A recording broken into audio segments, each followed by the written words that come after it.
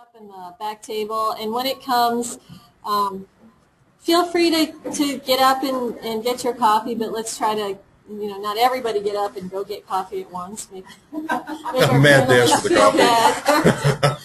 Um, and what I'm going to do right now is just go ahead and turn it over to Anne, who's going to um, tell us a little bit about yourself and, and introduce the panelists. One of our panelists is still en route, but you can still give a bio, and we'll turn it over. Thanks so much for being here.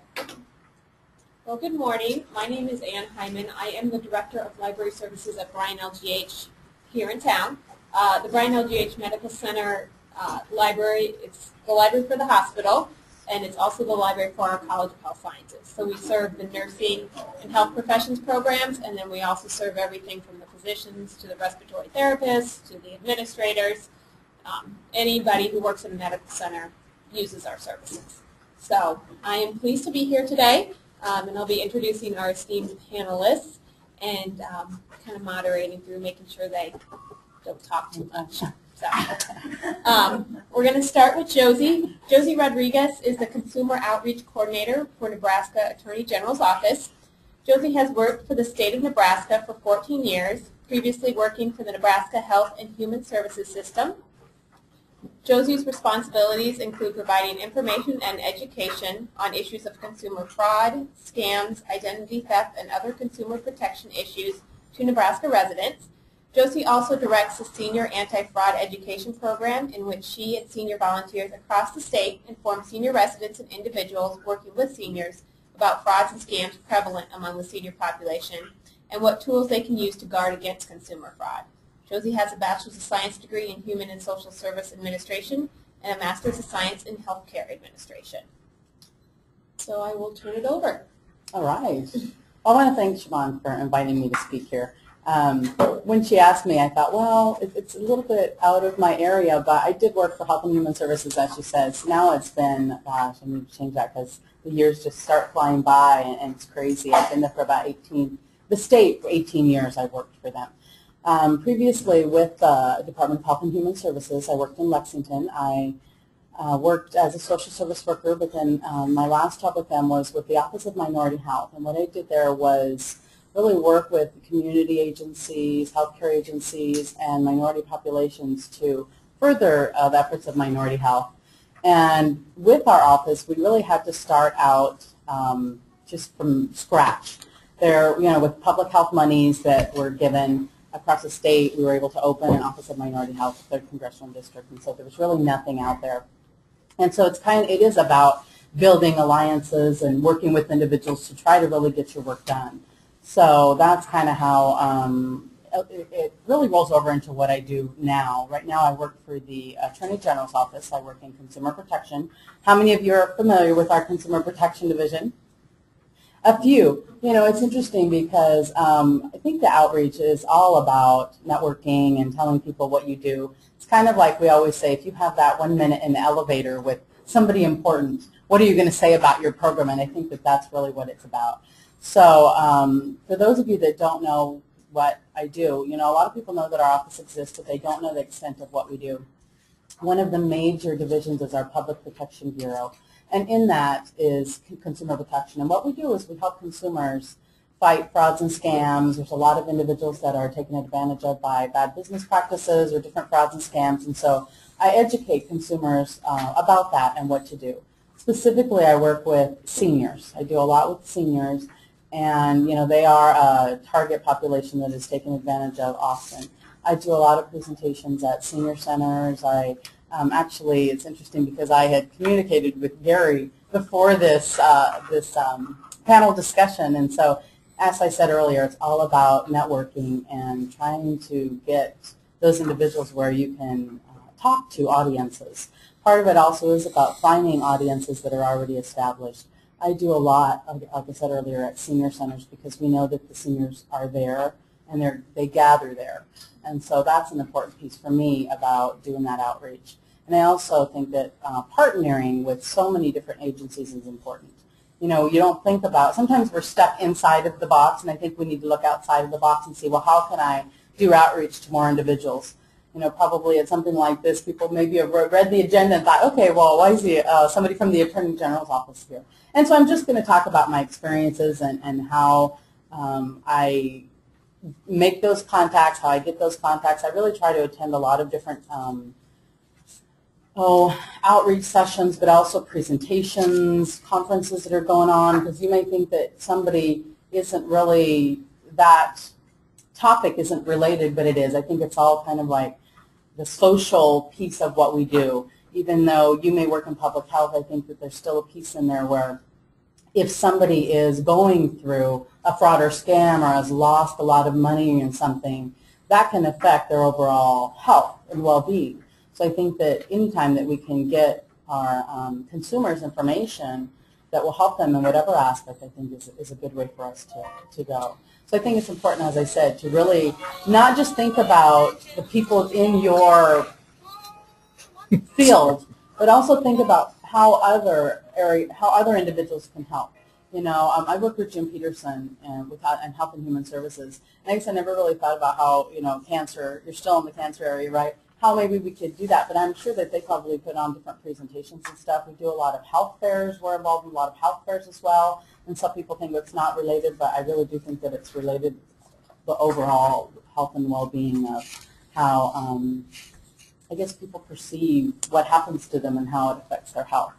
So um, I've also worked with a lot of different churches and um, community-based agencies. I think that partnering is key, collaboration is key, working with as many individuals as you can. Why reinvent the wheel if there's no need to? I work a lot with the Area Agency on Aging offices as well because they have individuals that go out to different communities and give presentations. Also like the SHIP program, they go out and give presentations. If I can work with them and build that relationship with those individuals that are going out there, why not tag team and take some time, you know, maybe even if it's 10 minutes, it gives me an opportunity to talk about our program and what we do and how we can help individuals.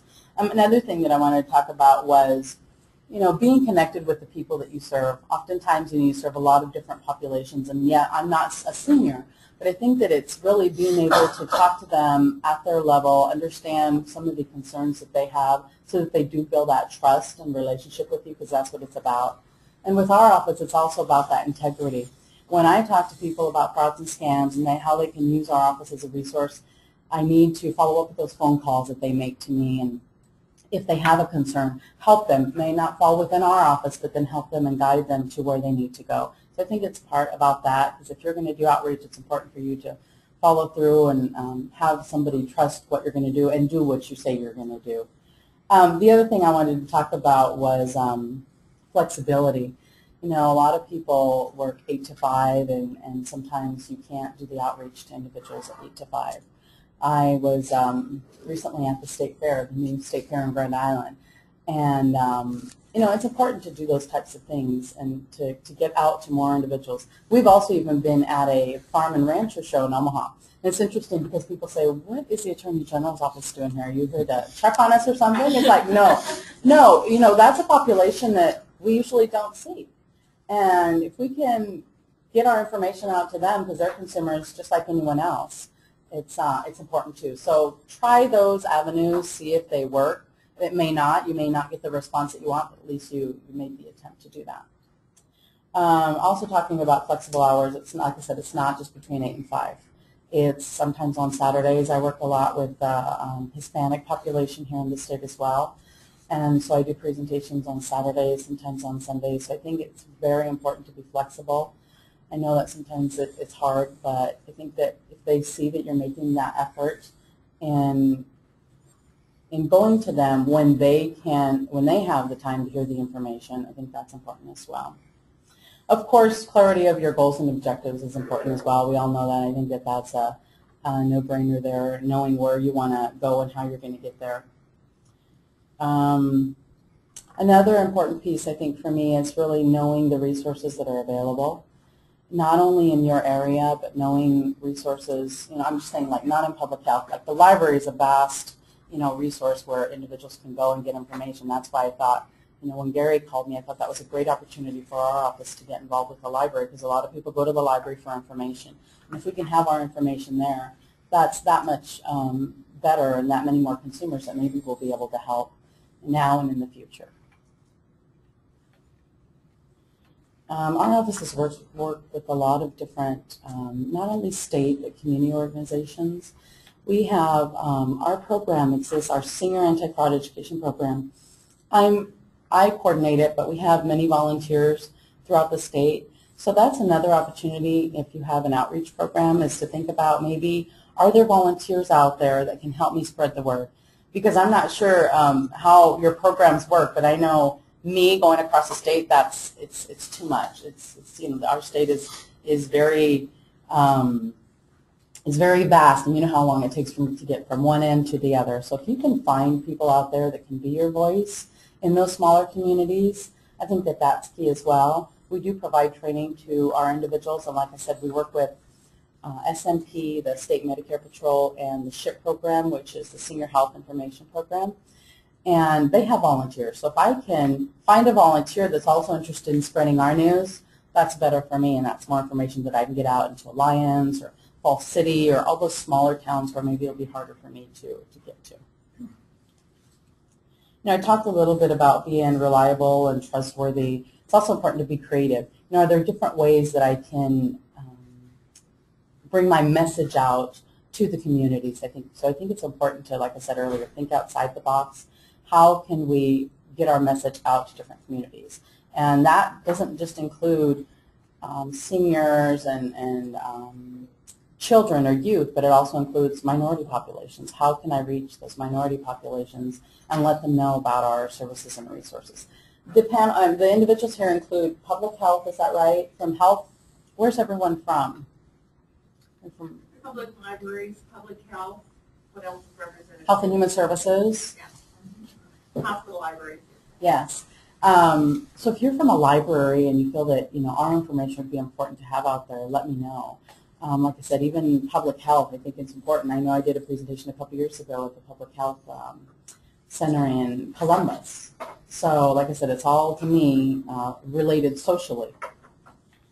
Let's see here too. Um, talked about going to where people are already at and meeting them at the time that they can meet. trying to think what else. Is there something you else? have, that I need to- um, did you bring information, you know, business card or anything? Yes, yes, I do Okay. have business cards. yes. we, we have a, we do have a resource table on the corner there, and so, um, if you want to put some resources. there. Yes, and I will, I will bring um, some of our brochures as well so that you can kind of see. I think it's also important when you're developing information, your resources. When we developed our program for our senior population, we made it in a way where it's, oh, how would I, better visual for them. We, there's a lot of individuals that may have um, macular gen- degeneration, so we did it in large font.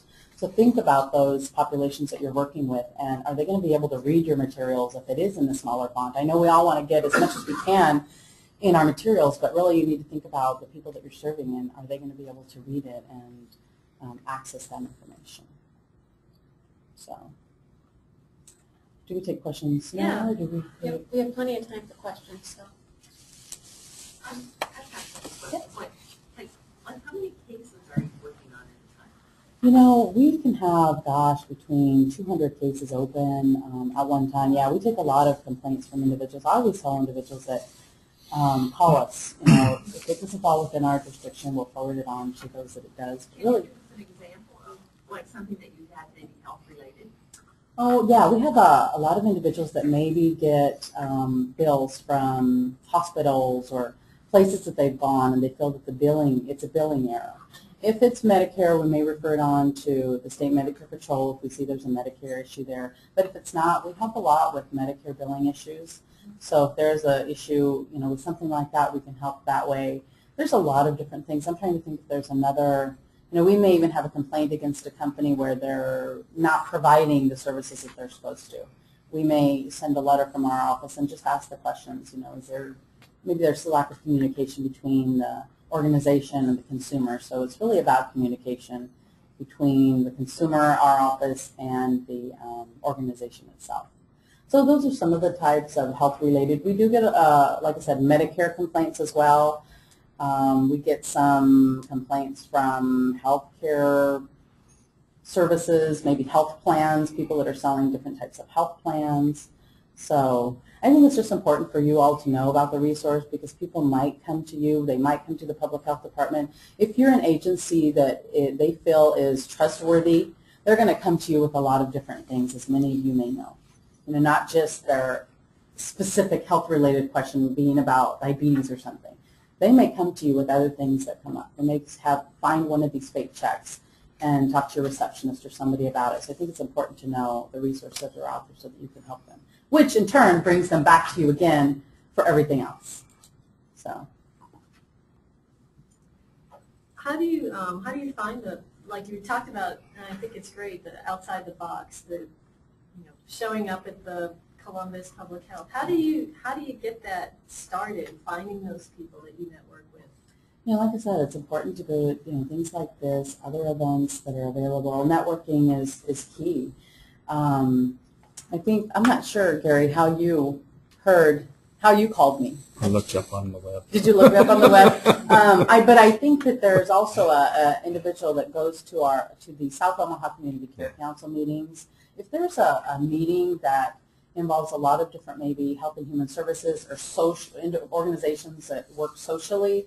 I think that's key to be at. In Omaha, there's a South Omaha Community Care Council, and it is um, comprised of organizations throughout South Omaha and Omaha itself, Lincoln, uh, different communities, and they just talk about what their organization does, how they can help consumers. And there you we find a lot of opportunities to speak at. You have the opportunity to, you know, give your two-minute elevator talk and that's where people can hear what your program is about and have the opportunity to ask you, well, can you come out and speak to our organization? What do you do? How can you help our consumers? Things like that. I think the other piece is word of mouth. You know, if somebody hears you speaking uh, at, some, you know, at an event, they like what they hear, of course they're going to spread that on. We do a lot of uh, senior fairs as well. We have one coming up in Columbus and one in Kearney. I work with a lot of retirement facilities as well. So a lot of it is doing that work on your own, finding those organizations. Um, you know, we have a list of senior centers and just calling, calling, calling them and, and seeing if you can come out and speak to them. I think um, one of the things, I'm, I'm sure a lot of you have found that is if you go to a health fair, course it's great to have the interaction with the people that come to your booth, but a lot of times it's the other people in the other booths. Exactly. That's how you build the, the network. Yes, So, exactly. yeah. Do you have other questions for Josie? I had a question. I was just curious about if there's anything you do about tracking, like if you go to one of these fairs and then somebody calls you because of that fair, I mean, how do you analyze or gather statistics on if that outreach is working? You know, I, I do. I do um, ask them where they heard about our office, and so I try to track that. I track the presentations that we give, how many individuals come.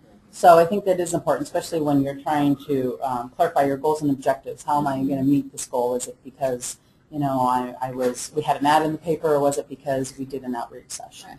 So yeah, I mean, we, we do track that to keep, to keep track of, are we, you know, when I go to the senior center, am I getting a referral from a senior that's there maybe visiting from another senior center? So we do have evaluation forms as well, and, and we track that as well. Okay. So. Great. Are there any other? Yeah. It seems like there's a lot of confusion, particularly with seniors, about um, medications and prescriptions and can I order them from outside the Yeah, country and yeah. that kind of thing. You get, you handle those kinds of We do. issues? We can help with those types of complaints as well. There are a lot of things that are going on on the internet. You know, there's a lot more individuals using the internet. And I think people are getting so much correspondence by mail too. They just don't know what to, what to, if it's reliable or not. So yeah, we work with consumers and letting them know. And if it, if it does come from outside of the country, be, be wary. We send out a lot of newsletters as well. That's important. We have, whenever we're at an event, we ask individuals if they would like to sign up for our, um, to be on our mailing list. And that will create information that's sent to them on different types of frauds and scams. But yeah, we try to educate them. And, and let me just go, go back a little bit and tell you what our senior program is about. We talk about charity fraud. We tell about, talk about mar- telemarketing fraud, investment fraud. We do try to talk about um, internet scams. There's a lot of things that come through the internet, and some of those are the prescriptions you know, they're trying to find ways that they can save money. So if there's a wonderful opportunity out there, they're going to try to take advantage of it. So we do tell them, just be careful what you are getting in the mail. Call us without, you know, before you act on anything, we say, give us a call and let us know because oftentimes they will send that money and they won't get the product or, yeah, and we can sure try to help with that. Those are things, I complaints that think it's even a question of knowing what is legal and what's. Right, exactly, exactly. And, and you know, we can tailor a presentation if, you know, you think that you would like us to come out, we can kind of tailor it to, if you would like us to talk about more healthcare fraud, we can do that as well. So we can kind of tailor that. Thank you. Last year, our office helped consumers get back over a million dollars, $1.3 million. Now, a lot of people, like I said, they don't even know that our um, Consumer Protection Division exists, and, you know, we're, we're really helping individuals, consumers overall, not just seniors, get back a lot of money that, that is lost in either a fraud or scam or bad business practice. And oftentimes people say, well, you know, how could I be ignorant and fall for that? And all of us are potential victims. You know, we don't think about it. And scam artists really are, they're savvy and they can really trick us into divulging information. So I tell individuals, you need to let us know what's going on because we can't help if we don't know what's going on. So, yes. How well do you work within the state government then and other divisions and all that? How, do, how does that all tie together in terms of like policy? and all that? Uh, policy? Well, or Policy. just just in general too. Yeah. You know, like I said, we collaborate with Banking and Finance, uh, Department of Revenue, um, the Secretary of State. We work with a lot of different state agencies as well as community agencies on, you know, finding the best thing for the consumer. I think that that's the key is how can we help the consumer, be it public health, you know, be it HHS, be it our office, how can we help the consumer? And if there's a, if banking and finance can help better than we can, then we refer it on to them. So we have really good relationships with, you know, the, the FBI, you know, we work with the Consulate of Mexico, we work with so many different agencies, and that's where it's key to go to networking events where you can um, meet these individuals. Because some of you, you know, even the Consulate of Mexico, you may not think that it's public health related, but really it could be. They have a, they have an area that is about health, health uh, literacy and, and health education, and so that may be um, one contact that you may want to make through that. So, and if that's something that you're interested in, I, you know, I have that contact too. You can sure let me know. But it's thinking different, thinking outside the box, and how can I, you know, do outreach to different consumers. In fact, the consulate in, of Mexico in Omaha has a clinic, a health clinic, that students at Creighton are, are there probably four hours a day, three or four days a week. So Yeah, that's, I mean, that, that is the outside the box piece that Josie brings is it's amazing to see what these other organizations are really up to and how can we get involved in that. Exactly. And you know, and it's not only, um, you know, a lot of people think, well, we can't mix um, government with um, church, things like that. I do a lot of presentations at different um, churches. I think it's important. There, people are there. They want the education, and so, like I said earlier, it's it's you have to go to where the individuals are at, and really where the need is, because a lot of times they bring those concerns to their pastor or different clergy in that church, and who can help them. And if they don't know the resources, then how are they going to help their consumers? So I think that it's important to, to find those key people in areas where you think your consumers are going to go to, you know, the library, the churches, consulate, different places where they're going to really take those questions to. And if you're a resource that can help, you need to be on that list. Thank you very You're much. welcome. That was wonderful. Okay, we're going to move on, and we're going to move on to Gary. Um, Gary, is it Wasdin? Yes. I say that, Wasdin. Uh, moved to Omaha in January 2010. So, um, welcome. Thank you. newly here, um, to become the new director of the Omaha Public Library. Uh, prior to Omaha, Gary was the assistant dean of libraries at the University of Alabama and the director of staff development at New York Public Library. Previous positions uh, include serving as director of the Fogelman Library at the New School and the head of access services at Wesleyan University. Gary has an MLS and an MS in English from Southern Connecticut State University and a BA in theater, theater from Augusta State University in Georgia. Uh, Gary was born in Jacksonville, Florida. He's the youngest of the family, fourth child of a Southern Baptist minister father and a school teacher mother. Um, In the short time Gary has been in Omaha, he started to identify some key priorities for the library, which include increasing hours in the branches, identifying new strategic partnerships throughout the com- community, and a renewed focus on outreach and programs for kids, teens, and adults. So I will turn it over to Gary. Thank you. And first, my apologies for being late. Sorry. And then my cell phone going off. Sorry. Let that be a warning to you all. And when mine went off, I saw several of you look at your own phones. So I was just doing my part. Um, and actually, I went. I'm late for somewhat of a good reason. I, I forgot what I wanted to pass out to you guys today, so I drove back to get it. Because this is more interesting than me.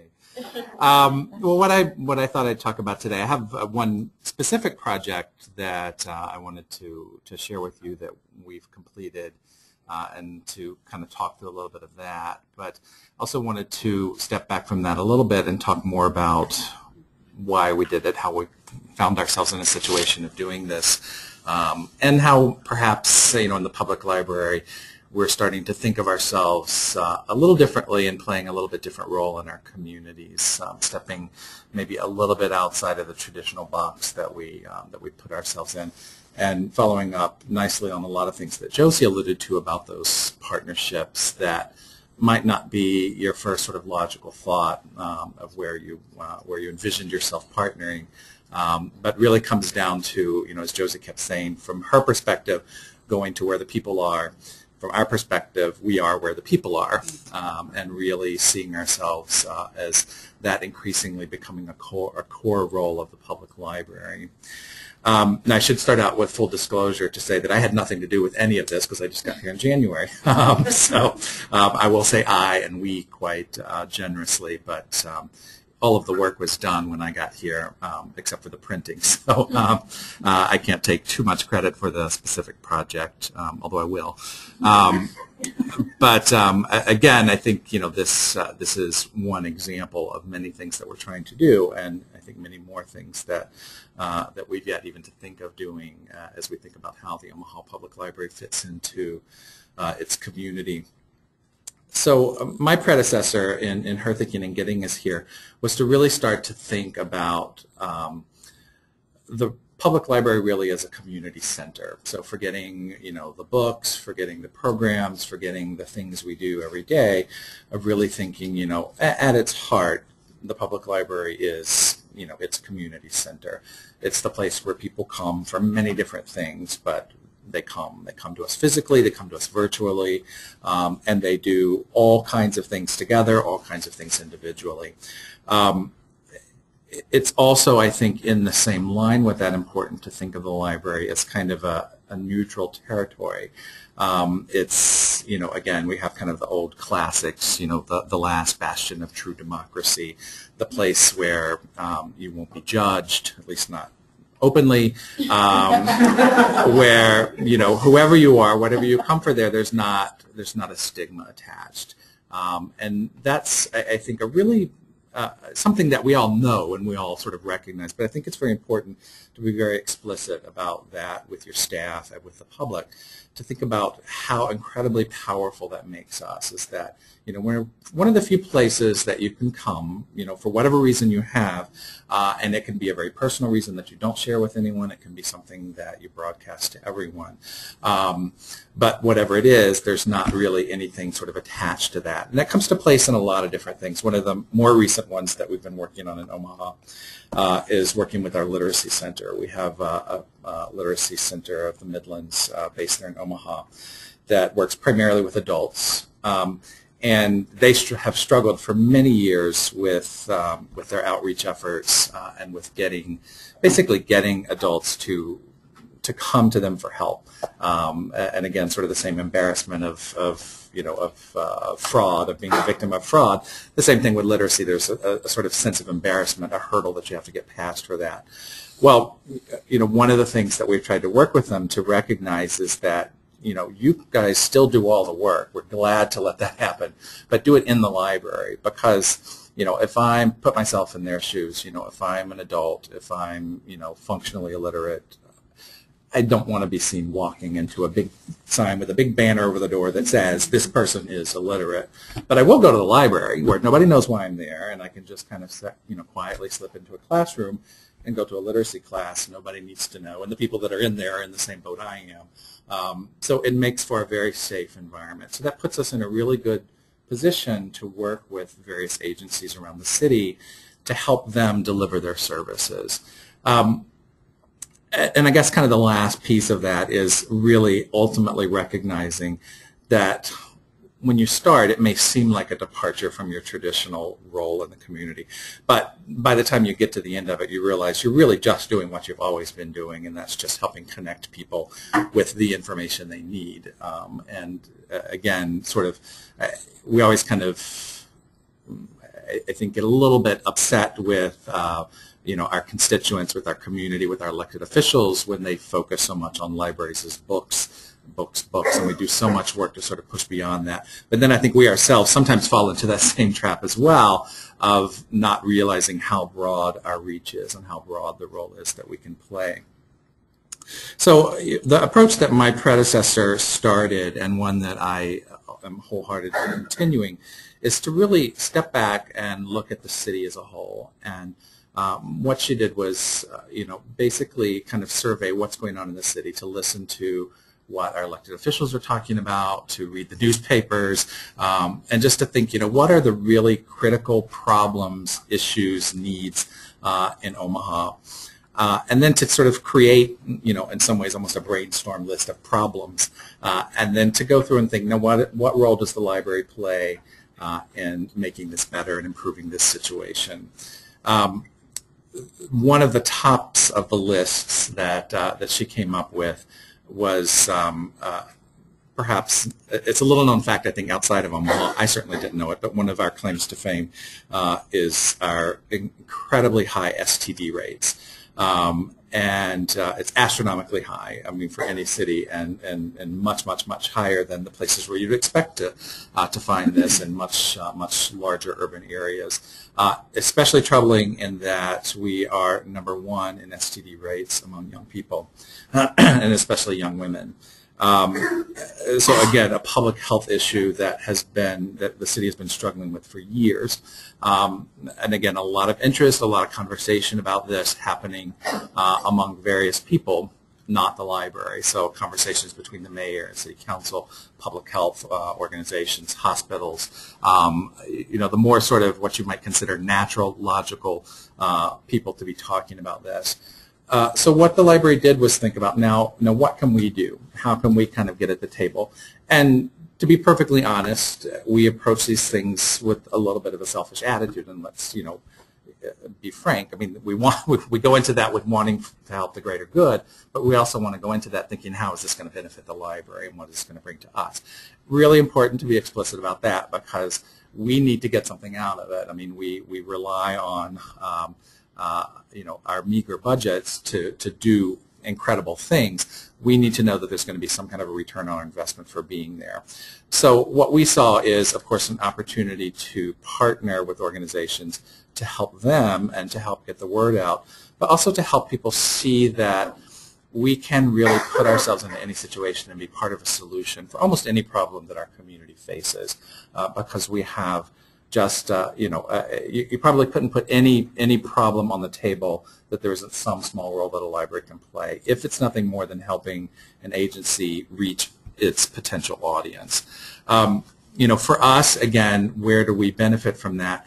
Well, the more that we can really weave ourselves into our communities, into our cities, into the, the, the population that we serve, you know, quite frankly, the harder it is to get them to unweave us. Um, we want to be so completely integrated with our communities that it, it's it's a no-brainer that you just you know you see well if we were to cut the library's budget it's not just that they couldn't buy more books it's not just that they couldn't buy databases not that they would reduce their hours but there would just be this domino effect around the city of other agencies that it would affect for us, that's great. It's a win-win situation. It puts us in a situation to really show that for every dollar you put into this library, you're helping just an inordinate number of agencies and departments around the city, government, private, uh, philanthropic.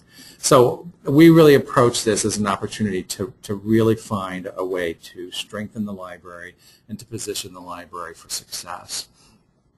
Now, getting back to the STD issue, um, you know, this was one that the, the city, as I mentioned, had been struggling with and really thinking about, you know, what can we do for this? Our role really to come into play with this was, was partly an educational role and partly an informational role of just kind of helping to get the word out. And we were sort of looking at, you know, what are the ways that we can do that? Again, we have the captive audience, and we decided we would target young people.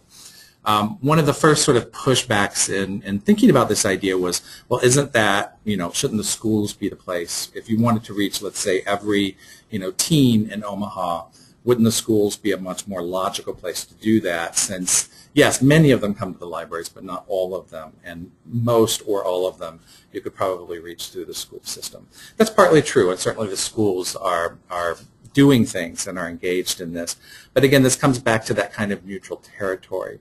And you can take the sort of exact same thing, uh, do it in the school system and do it in the library and have very different results. Um, young people uh, come to us with a, a, slightly different frame of mind, so to speak, uh, and they tend to be a little bit more receptive to things that they're learning in a library setting than what they're learning in a school setting. Uh, we're finding that now our sort of newest uh, uh, venture that we're working on is cyberbullying, uh, and this is coming up quite tremendously because, of course, this is a, an issue that's growing and growing in significance, getting a lot more press. Um, and we do have uh, an organization based in Omaha that's dealing with cyberbullying. They've been working exclusively through the schools and what we found, what we talked to them about, and we're already finding is that they're just taking the work that they're doing through the schools, essentially doing the same thing in the libraries, but they're getting such a different response from the young people and attending. Um, you know, I can sit through, and they do I do a lot of this through theater. They do uh, little uh, little shows that they create.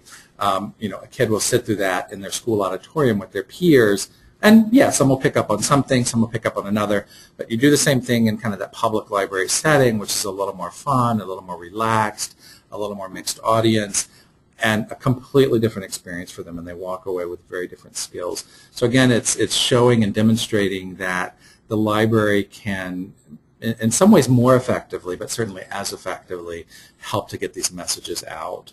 Um, you know, with the STDs, again, it's a, it's a topic that has some sensitivity uh, involved in, in talking about. Um, again, putting it in as safe a territory as possible was really kind of what we were looking at and something to help kind of get that message out multiply. Um, so what we uh, came up with was an idea to um, uh, to write a grant and, and raise uh, funds, a very small grant, uh, to produce uh, a comic um, about STDs that was aimed at young people, specifically aimed at young women, um, that you know didn't do a whole lot to to sort of push information out there, but just more or less to kind of raise the topic and get them thinking about it and to share just a tidbit of information and a little bit about where they could go to get more information.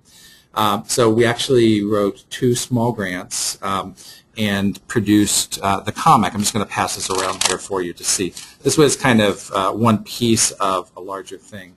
And I'm sorry, since I ran back, I hope I think I got enough. But if I did run out, let me know at the end, and I'll, I'll get more copies to you. So what we wanted to do was to produce something very light, very simple, uh, and in a medium that would appeal to young people. Um, so we produced this this very short little comic. Um, and uh, we worked with a lot of different agencies to to coordinate this uh, this effort. Uh, we we used the grant funds to hire uh, a script writer to write the text uh, and an illustrator to design uh, and, and draw the images. Uh, then we worked with Douglas County Health Department, of course, to basically help inform us to talk about the information, the need, and what we needed to get across.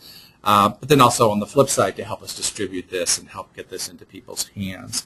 Um, we worked with the school systems. Um, this was distributed last year and again this year uh, through the school system. To date, I think so far we've we've distributed 30,000 uh, and we're printing additional copies now uh, to go out this year to the school system. So again, working with these partners to help get these into people's hands. And then, of course, we have them in the libraries uh, as well, as well, where kids can pick them up, or we have them uh, available, you know, at our information desk, as well as in programming that's that's targeted to teens. Um, a, a- sort of another another little tidbit, I guess, that, that puts us in a good situation to help is that we also have, in addition to having this really great access to the teens themselves, we also have really strong connections to their caregivers, to their parents, their guardians, um, you know, their siblings, to their sort of extended network around them, uh, in, a, in a way that the schools don't. Um, so we can sort of simultaneously reach out directly to the young people, but also do the outreach to the parents, to the caregivers, to the others that are in their lives and sharing their lives with them. Uh, and that's, again, kind of another role that something like this plays. Even though it's written for one audience, we're really uh, making a conscious effort to get into other hands as well so that you're either hearing it from your librarian, your mother is bringing this home and putting it in your hands, your teacher is giving this to you, uh, the, the clinics are giving this to you, so that you're, you're almost bombarded with it, but at, the chances are that at some point someone will put this into your hands and you'll get this information. Um, it's, you know, when you kind of think about just this impact and, and interesting, um, the, the question that came up uh, earlier about, you know, really measuring and, and how do you measure, um, you know, the effectiveness of this. You know, I have to be quite frank that I, I'd say probably we can't. Um, and I'm okay with that. I kind of made my peace with that. Um, it's it's the kind of thing that we can certainly demonstrate that we've gotten it into people's hands. Uh, but as far as demonstrating, did it make a difference? Obviously, we can look at STD rates, and we certainly hope they go lower. But I don't think we could get to a point of pointing that this was the reason. We can, you know, we can assume that it certainly played a small role in it. Um, but there are so many efforts going on by so many different agencies. It's really hard to tease this out. So I, I I think we kind of went into it almost just taking it for granted that it's for the greater good and that it would have some impact. Um, and it was a, obviously a, a relatively small investment, um, so we can kind of assume that it that it's doing help. Um, some of the other, uh, you know, little pieces that sort of went along with this, we're having a little better luck with managing uh, the, the metrics and to determine um, the success of it. So, you know, this was one piece, but it was kind of part of a bigger picture. And what we've tried to do is uh, develop sort of spin-offs of this uh, that reach uh, other audiences in other ways. Um, one of the first things we did also with the grant funding was to produce a public service announcement uh, that aired in April on our NBC affiliate in Omaha. Um, and basically the same artist, the same, kind of a cartoon uh, with the same artist working on it, same basic information with the contact uh, information there. So that aired uh, over a month. Um, and for that, it, there were some opportunities to measure success on a slightly small scale. Uh, with that um, ad, at the very end of the ad, it provided the uh, contact information that you see on the back uh, for the Douglas uh, County Health Department. And what we were able to do was basically to work with them to see if there was any significant increase in the number of phone calls. And there was. Uh, it was great to see, and, and you could sort of measure it as that, you know, the commercial would play. Uh, and obviously we had a schedule from the TV station to see when the commercials were airing so that then uh, Douglas County Health Department could monitor their calls to see if, you know, there was any correlation. And you could see that, you know, if a commercial aired at 8 o'clock, that at 8.05, you know, there were phone calls coming in. Um, so that was really helpful to see that people saw it. Um, that was, uh, although it was written for kids, again, um, for the commercial, we tried to aim it a little higher, more towards adults um, who were looking for information, possibly for their kids, possibly for themselves, um, uh, but again, sort of gearing towards the parent caregiver role. Uh, so that was, again, nice to sort of see that that came up with some results. Um, and then the sort of third piece of this is programming around it and looking at programs that we can do throughout our branches that again help to educate and, and inform. And that's bringing in you know various agencies to talk about various things. Some of them are aimed towards uh, adults. Some of them are aimed directly towards the young people. Um, we generally don't um, you know, it's it's the tricky part there comes in sort of promoting it, and even in coming up with a title because we don't call it, you know, the STD clinic, um, but you know, coming up with just kind of a way of sort of like teen issues um, um, that talks about a lot of different things, obviously, um, but this is sort of one piece that's getting pushed out there, and again, creating that safe environment where teens can come in uh, and talk, um, and all of this is kind of predisposed on having, uh, you know, a great teen librarian or teen specialist that has already developed a trusting relationship with the young people that they serve in that community uh, so that first, they're comfortable coming, uh, and second, they're comfortable talking, sharing, asking questions.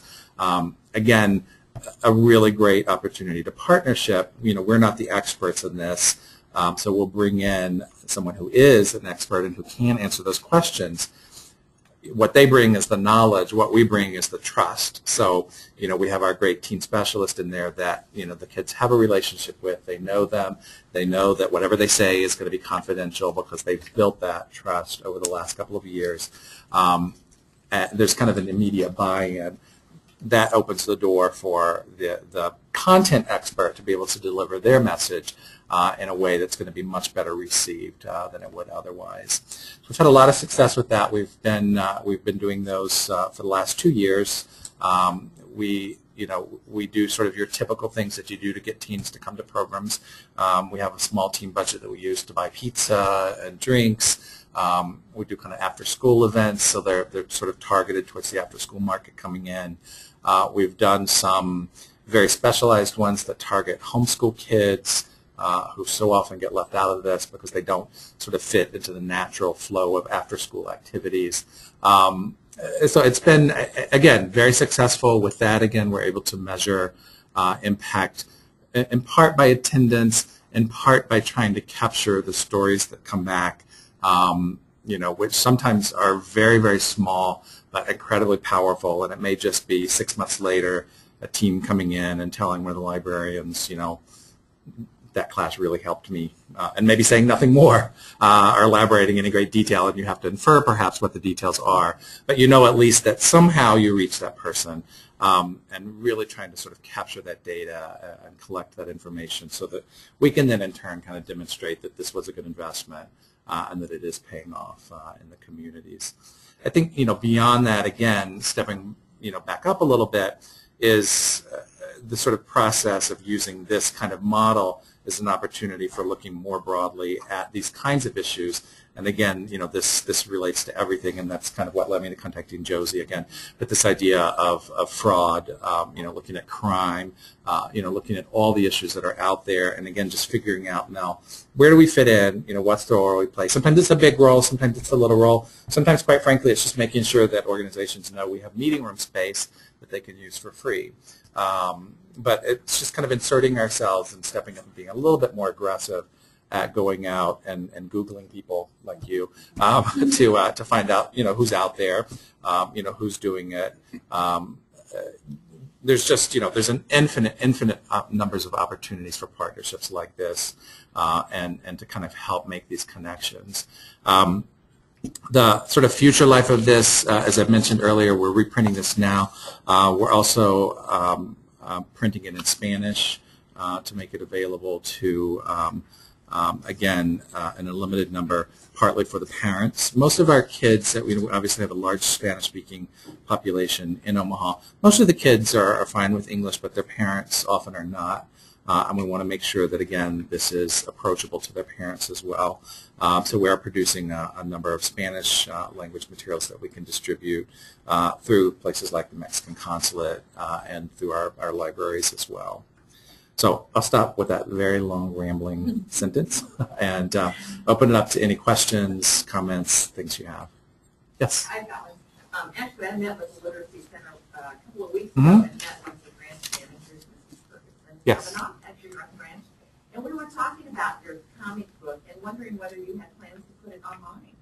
Um, we do. We um, we produced a what, what. There's two sort of pieces to that. One is just the sort of static comic, which we do have a digital version of it, and um, we we have it online now. We haven't. We're we're doing some modifications of our website uh, which we hope to have finished next week. So the sort of static version will be linked to from there. Uh, the commercial, um, I think, probably has the potential to have even greater impact online because it's a little more interesting to watch. Um, that we have on our YouTube channel right now, and again, the, the sort of second iteration of our website, which uh, we'll have done shortly, is going to have a direct link out to these, um, these um, basically to these YouTube video clips, of which this, uh, this is one. Didn't know about that. I just have Yes. a comment. I'm glad you talked about listening for the stories. I think sometimes we forget about the value of anecdotes. And, you know, as, as kind of bureaucratic public health workers, sometimes we say, well, that's only one story. How do we know, you know, what was the full impact?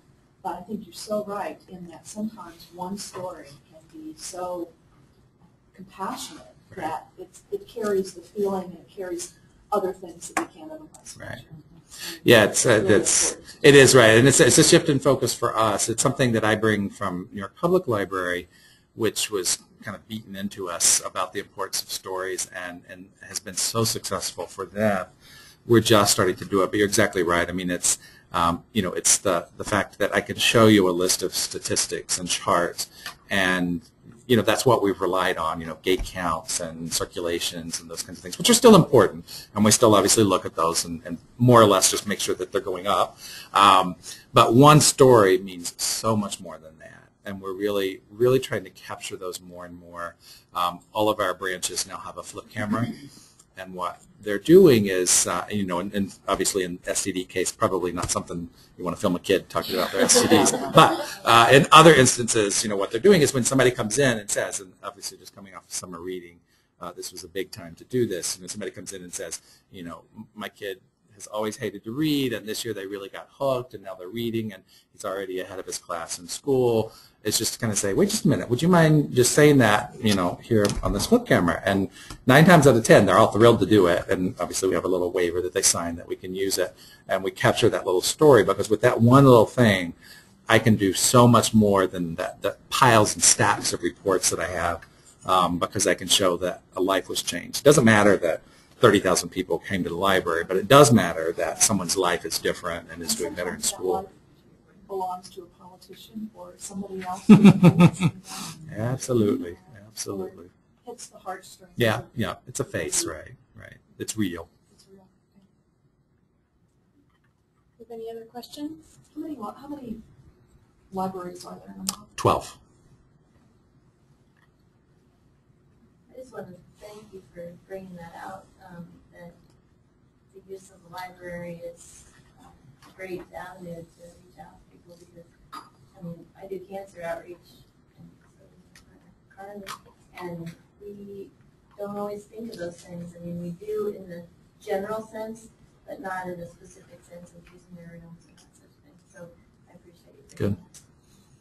Yeah, it's important, and I think, you know, it's the kind of thing that sometimes, like when I talk to my staff about it, it's internally it's somewhat of a duh factor because it's, you know, we always have been, and we've always been willing to do this, but I think we've always, we've been a little bit more passive about it, and we've expected you guys to know about it and to come to us, and so I think we're just turning the tables a little bit more and saying, no, we have to go out uh, and educate, we have to tell you, we have to promote this, we just have to be more active about it, that you know we're there and can work with you.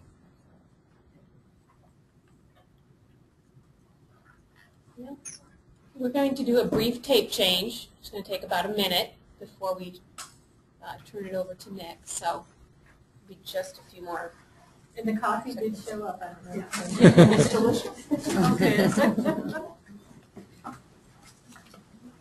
Um, Also, on the, on the table are handouts for um, both of the classes that will be offered.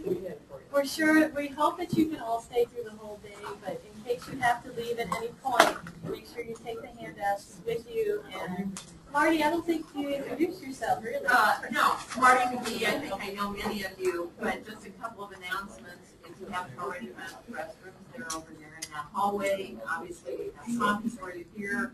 Um, I think we'll do introductions perhaps after our panel because we're broadcasting this and it's broadcast live. So we wanted to start right on time, make sure we stuck with our schedule. But we do want to get to know you and we want you to get to know each other. So those will be important parts of our components. The other thing that I'll mention is our class, we do have the option of taking our class in a computer classroom, but there are only 12 workstations, so we would either have to double up, or we can stay in this classroom and, you know, project our information on, on the front. So we're going to give you the opportunity to vote on that, so be thinking about that, and we'll do that after over. Okay, great, thanks. All right, I'm going to um, introduce Nick to you. Um, Nick Butler is here from Missouri this morning. Um, his healthcare career spanned 30 years. He's uh, covered a broad spectrum of experience and expertise in both public and private sectors in academic, hospital, corporate, and volunteer settings. Um, he started as a nursing assistant in neurosurgery unit at the University of Colorado Health Sciences Center where where he developed an understanding about the importance of communication and teamwork in direct patient care. After receiving a BA in Fine Arts, Sociology, and Religious Studies at the University of Colorado, designed to explore the role of cultural expression on social values and behaviors, he became involved in large-scale social survey projects at the university's Institute of Behavioral Science, where he studied delinquency and violence and analyzing media literacy and media violence. Uh, there he was able to directly interact with severely mentally ill patients to address mental health services and Medicaid reimbursement while employed as a field interviewer for the University of California's Berkeley School of Public Health. Um. This also involved data management and database administration, uh, which led to private sector jobs with health insurance companies, uh, Pacificare and United Health Healthcare with efforts on quality improvement and claims analysis. After years in this industry, Nick shifted to the provider side and worked for the University Physicians of MU to oversee aspects of reimbursement and revenue management through analysis of denied claims. All of these experiences have allowed a holistic view of health in our society, especially when being a patient and consumer of health services. With the near completion of an MS in Organization Management from Regis University, Nick intends to apply all of his life's endeavors to the realization of meaningful public health policy through engagement of communities, social institutes, and people. His work with the Missouri Center for Health Policy on Health Literacy and his current affiliation with Health Literacy Missouri through the MU Masters of Public Health program represent the culmination of a pathway to, what, to see wellness expressed as the true destination of health. So I think Nick's going to have just a wealth of things to talk about, so I will turn it over to you. Well, it's interesting to hear that. all I that, was I mean, very, I had to read it all because I was so impressed. I've been well, you know, I mean, I'm at a certain age where I've done a lot of things in my life and in my career. My career has been the, the point of that is is that my career has been all over the place, but mostly in health related activities. From you know working with well, being you know direct patient care as a nursing assistant to um, working for big insurance companies, HMOs, you know, and then working for the the provider side, helping them get their revenues and all that. So. Um, the culmination of, of all that into what I'm doing right now is uh, it just seems perfect. And, and I work for Health Literacy Missouri. All those names you might have, might have got kind of lost in all those names, but right now I'm working for Health Literacy Missouri, and I'll, I'll tell you a little bit about that in a bit. And uh, it is through MU though. I'm on a contract with this nonprofit HLM through MU, the Masters of Public Health program. Um, I think it's interesting that you know I'm here from Missouri, and it, and you know it kind of brings a regional flavor to a lot of this. And I know that the National Libraries of Medicine are set up regionally. I just want to say a couple things about uh, this concept of regional too. I mean, we're all kind of focused on our our everyday lives too, but um, and I think that we need to stay there, but we need to kind of look up and see the, this larger regional st structures, like even you know geographically there's a lot of similarities in a lot of the rural areas between Nebraska and Missouri. I'm sure that some similarities in the urban areas. Um, one important thing is that the health bill that, that's been passed and a lot of the money that's appropriated in that health bill is about plain language and communication. I mean, that there's real money to be had uh, for our activities from that level. So, and, and uh, the reason I, I bring that up is because there's a real emphasis in that health bill on regional activities. So if coalitions, like if states get together or regions that cross borders, um, many of the uh, health and human services at the federal level, their regions are, you know, go across borders. So this is an important point about this regional activity because it can draw dollars down to regional activities, which can then be put out. So keep your eyes open for interpretations of the health bill. I, I've not read it. I have a lot of people, a lot of analysts that do that for us. So, and, and hopefully we can find that clear information uh, moving forward. Um, how many people have heard of the term health literacy with a show of hands? Okay, that's that's a pretty good percentage. I don't know, maybe about half. Uh, that's actually a better percentage than when I present uh, health literacy to like physicians or other health professionals a lot of times, seriously. Uh, and I, I, attribute that to the fact that many of you are in, in you know, libraries or communications, um, and you deal with media literacy. And I'm not going to get into media literacy today. I just want to throw that out this plug that um, uh, I think as stewards of media literacy, librarians and, and others and educators, um, that is probably one of our biggest barriers that we have right now is people understanding the media messages or the, the information that they get. And so I have framed um, health literacy, and we'll talk a little bit more about that since some of you haven't heard that term, but uh, which is basically the ability to find, use health information for your better health or for well-being. And it's not just the individual, it's institutions too. Doctors need to, you know, talk more, less with jargon and so forth. That's all part of health literacy, is to get to that communication part. But I see health literacy as a subset now of media literacy. I always kind of thought of it the other way around, like, you know, you need a little media literacy to do this health literacy. But I really think that, you know, when we come out with health messages, um, through whatever channels, um, we still have that barrier of the corporate media environment, commercials, TV, now social media, so, I mean, something like this is, is really a great idea. It kind of cuts through a lot of that. So we need to, to think of it in those terms too. So I'm really glad that libraries are getting more engaged in health literacy. And I'll tell you a little bit more about our organization and how libraries are involved with that.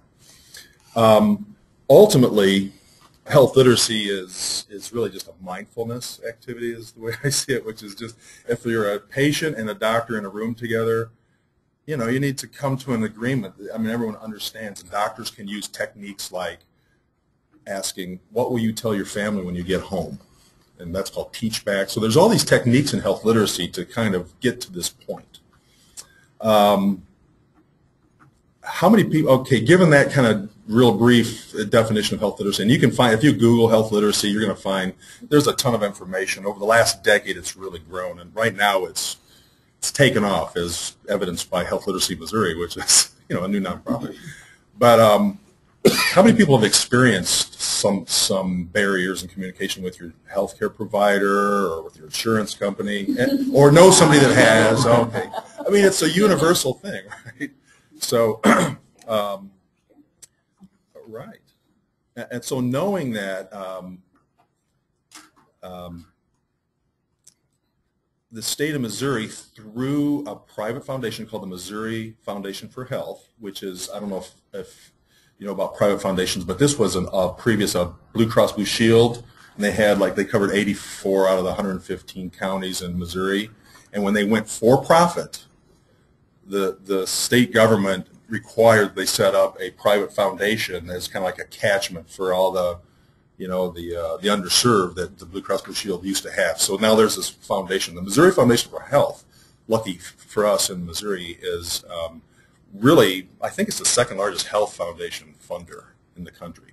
It's huge, and they have a lot of assets. I mean, it was a very successful St. Louis-based, uh, you know, insurance company. So, um, but within that program, uh, programming group, uh, you know, they did a lot of assessments of the state and health literacy. That concept of health literacy uh, emerged as a really important topic for them to start funding. So uh, three to four years ago, they funded a uh, the Missouri Health Literacy Initiative, and um, that was an interesting exercise too. That that uh, they uh, put together three resource centers that were based in universities. Uh, one was the Washington University, St. Louis University collaboration, and they, they were really good at um, a lot of public health communications and all and research. So they were real researchy. Then then the AHECs, and many of you know about AHECs, were brought in uh, through Missouri State University in Springfield, Missouri, and uh, they were they brought with them some of the library expertise and helped start developing the resources, health literacy resources, um, and, and a website uh, interface for searching and all that. And I'll tell you more about that later too. This can all be found on healthliteracymissouri.org. That's you know, go go explore that, and you'll see the, the resource inventory there. And the third uh, resource center was the the uh, University of Missouri in Columbia, and that's primarily uh, how I got involved. I hired onto that job. I had been working at University Physicians, but uh, so you know that university has the, the school medicine, and it had like all the provider pieces. So you see, there's and and plus the Center for Health Policy that got the grant at MU, which is where I was hired onto. Uh, you know, we bridged a lot of organizations throughout the state. So it was really a good collaboration of resource centers, plus the uh, Missouri Foundation folks actually sat in on some of the steering too. So it was a pretty statewide effort to begin with. So um, I, I, won't say too much more about that. Uh, you can find the history of all that on the, the website if you're interested. Uh, many activities were um, were launched during that time. There was now now three years later uh, as this was the, the plan was to launch this whole thing as a separate nonprofit, kind of break it off. It's still seeded by Missouri Foundation for Health a lot. We have to kind of start finding our own revenue source now. That's the trick. That's why I keep talking about funding, you know. But um, many of the products and services that were developed are very interesting. There's, um, you know, we do simulations with doctors. Uh, we have like health literacy standardized patients, they call them. Many physicians go through these, thing, you know, clinical simulations as part of their schooling. Well, we got a health literacy case in there, so it helps the the uh, the doctors speak more plain language to patients. We do that actually with community doctors too. We've taken it out, so that's in our toolkit. Um, we have we flipped that a little bit. We have a really great community uh, workshop called the Standardized Physician, or really it's uh, that's what we call it internally. It's straight talk with your doctor and we can get groups, you know, like diabetes support groups, parents as teachers, any community group that's interested in this, um, have medical students come in and be the, the doctor. So they play, that's a role play there, and then we help uh, people in the community understand that you can ask your doctor, what are you talking about? Or, you know, or ask for those kinds of feedback, you know, and it's, so it's a very nice workshop. So we have a lot of workshops, products and services, the library stuff, um, and, and it's all out there now. Now it's time to like move forward. Now that it's all put together, and uh, and over the years, I had been tasked uh, in my role with just kind of more like core operations. So I worked a lot with community groups, getting the word out. One of the main um, aspects of Health Literacy Missouri in the grant years was to um, fund community organizations for health literacy interventions. There was a huge part of that money was set aside to fund these um, uh, community-based projects. And, the, and I was lucky enough enough for um, our area in the mid-Missouri and, and so forth. I, I was the contact person, so I got to work with a lot of community groups who were like, "Oh, money! Let's let's write a grant." So you know, we wrote many grants, um, and I'll briefly touch on what some of those uh, demos are. Um, the, the preponderance of them are in St. Louis, of course. I mean, there's a you know kind of a St. Louis bias to this whole thing. We're trying to say no, there's also you know rural and the rest of the state, but um, and Kansas City's not included because that was not in that Blue Blue Cross Blue Shield area. They have their own foundation that we have to partner with now too to really fill out the state. But anyway, some of the demonstration projects in the urban areas were like, you know, working with Urban League, pharmacies, just all sorts of stuff. And, and again, I, I urge you to look at the website because I think there's a description of a lot of the demos now. And there's like 31 of them right now. 31 staggered over these three years. So now my new job at Health Literacy Missouri is community outreach. And um, I'm still working at MU, but it's a contract with them. But now I have to figure out, okay, now there are all these products and services. There's all this great energy. How do we um, get it out to the community, to people, how, how, they need it? And you know, there's all these demonstration projects are going. They've got their evaluations going on. How do we we stay? We have to stay engaged with them now and take the best practices uh, as we go out into the communities and, and just do this. To me, as I talk about, it, I'm starting to get overwhelmed. I go through this every day thinking about all we have to do because you know we don't have a huge staff yet. That's why partnerships are, are ultimately the way to go here. Um, many of the demonstration projects, uh, you know, are based on the community-based participatory research (CBPR) model, which is, you know, that's I feel like what we have to do to go out when we look for new opportunities to to um, engage the community. But um, I, I would like to. th- Some of these are personal opinions now coming out, but I think it's kind of um, verified out there by funders too. They're starting to see that a lot of the funding that's coming down to these projects gets to the community organization level. And then, you know, usually through academics, if you notice that Health Literacy Missouri was initially, you know, it was all universities, and so it had a real academic bent. And so you get, uh, this is very typical these days, is that a, uh, academics have a project, a great project. I mean, it might be based on a little bit of research, and it might be based on, you know, real desire to help people, but it goes in, uh, they partner with communities.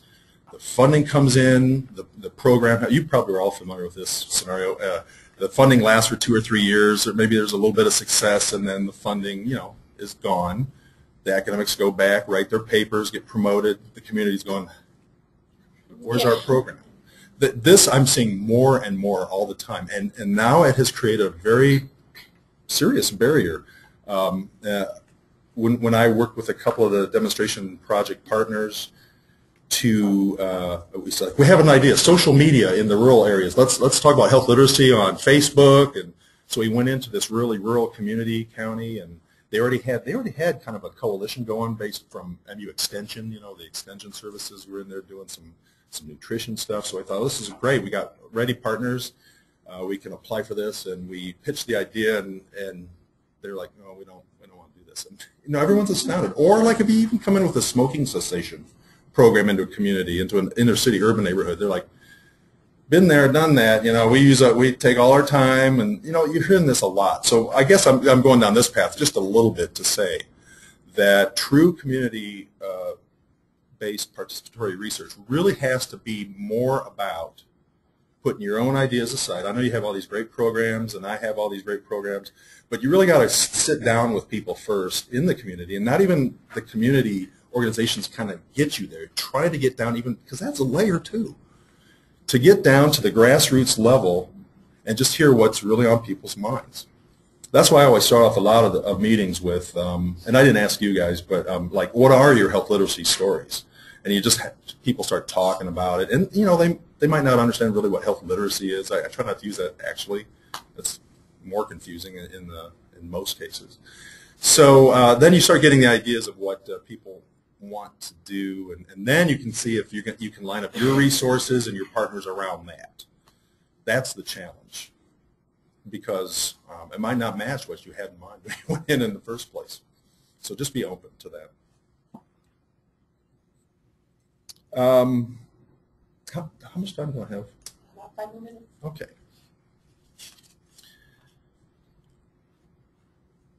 I'll just uh, I'll just give a little anecdote to, to finish up then of, of going into a community. This was um, kind of a mix of both, really getting to the grassroots, but also coming in with an idea, pre pre planned idea.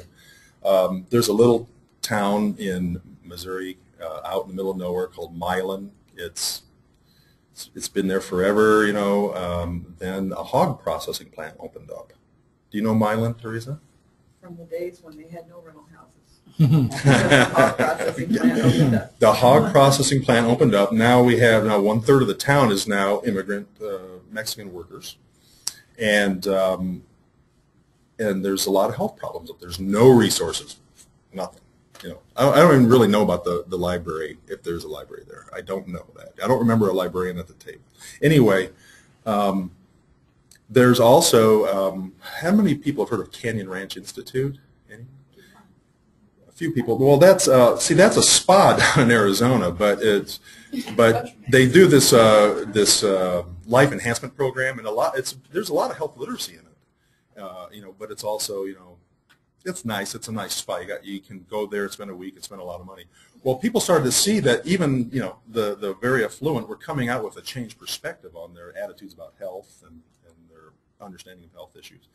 So um, they spun off an institute, and, and they're trying to replicate this now in underserved populations. It's not always like a weak spa thing, you know, but it's what they what they do is they the model is to take providers from a small town like Milan, and this actually this is a demo, demonstration project that got funded, not without some some arm twisting, because a lot of people were saying, "Oh, what what if you hear?" Uh, well, let me. Finish.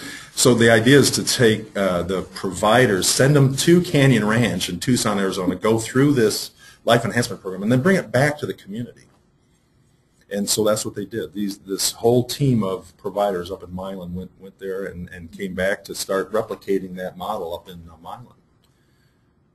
The, the snag was a lot of people saying, what what if the newspapers got a hold of that one? You know, Missouri Foundation for Health sends doctors to spa, but you know we, we worked through all that. Anyway, but that was uh, I, I'm getting a little bit ahead of myself because the idea was there for Canyon Ranch to come in and work with Health Literacy Missouri to find a rural setting to try this.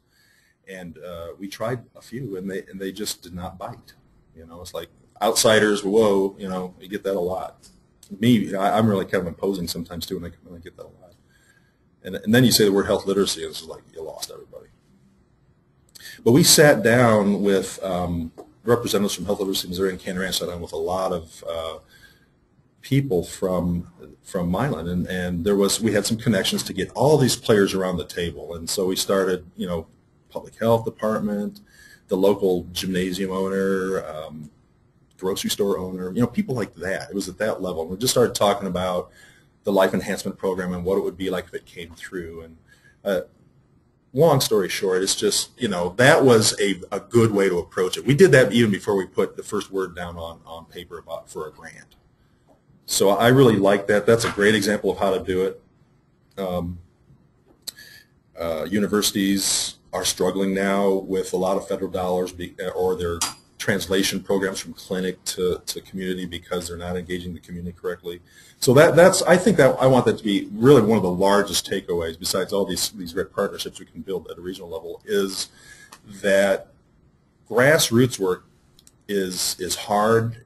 Um, you know, I don't know how I'm going to do it.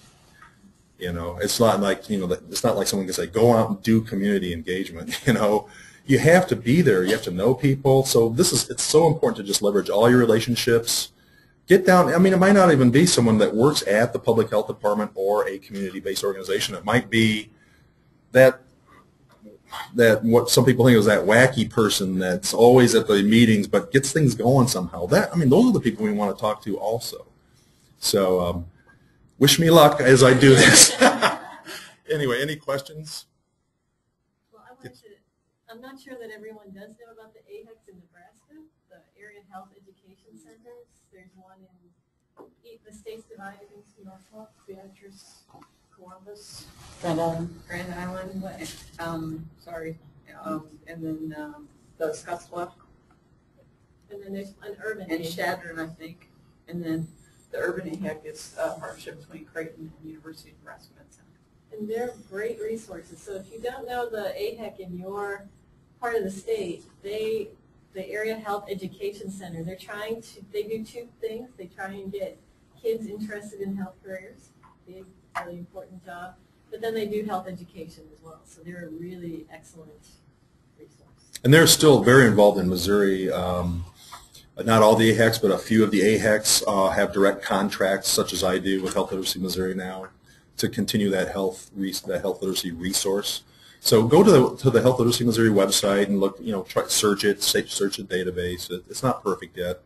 Everything's pretty new, but the AHECs are, are definitely very important partners. Can you find the information on the AHECs online? Yes. Find contacts on it? And, and you also have Marty and, and um, my information and Terry. When Terry and Marty are teaching, they, great resources. Just if you can't find anything, you've got our And. I used to be a former Oh, yeah. librarian, so anything you want me to hunt down, These handouts? um, my contact information, I sure hope it is. The I've got, and then I've got, I'm with the University of Nebraska Med Center now, so I'm one of the librarians up there.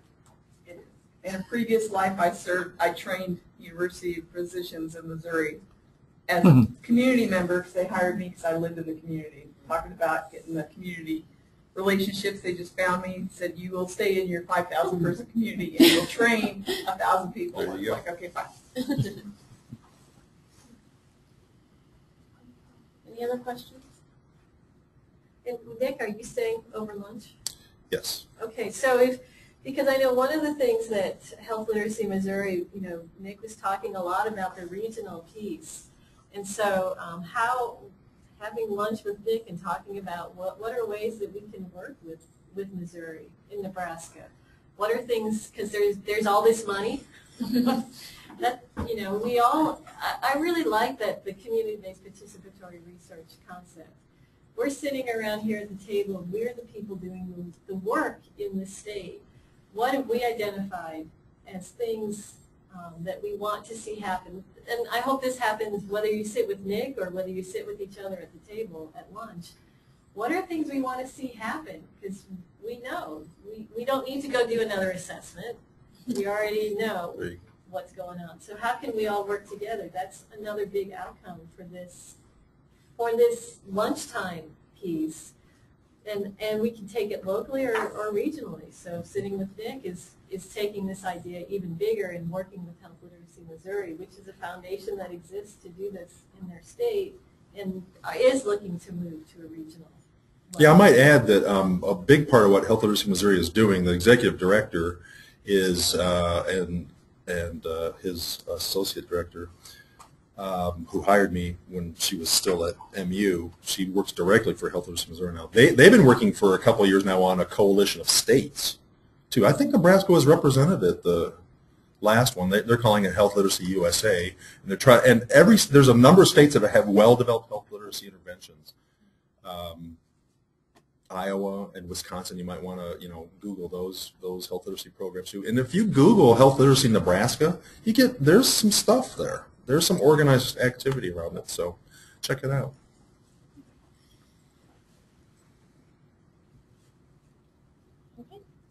Good, that's- Um, I have something to say if you think we're done. All right, well, I have this.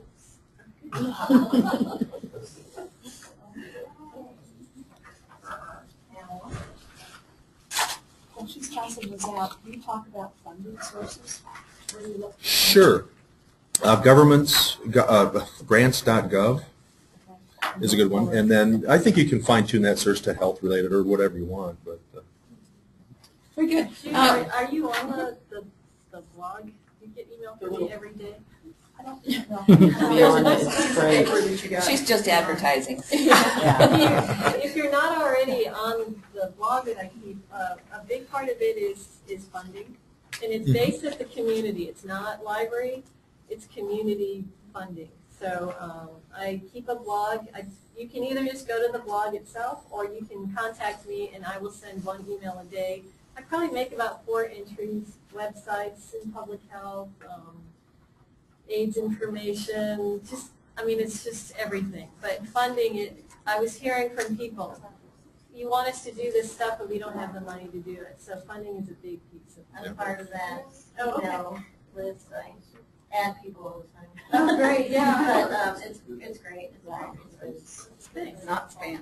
That's what you said to Rita Paris that goes out to the health department. Yeah. Oh, That's yeah. really, really helpful. Okay, I that's, that that's this. That's this? Yeah. So Then I don't need to sign. No, you don't need to. Okay. Um, these are journal books, so what we want our people here to do is to think about ways you can partner with other people.